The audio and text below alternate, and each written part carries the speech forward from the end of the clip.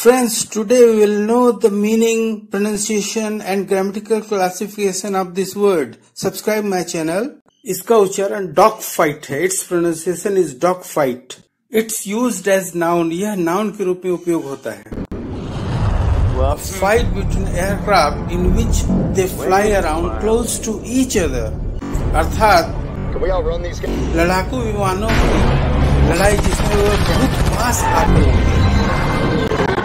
a struggle between two people or groups in order to win something या दो व्यक्तियों या समूहों की लड़ाई जिसमें वे जीतने के दांव का प्रयास करें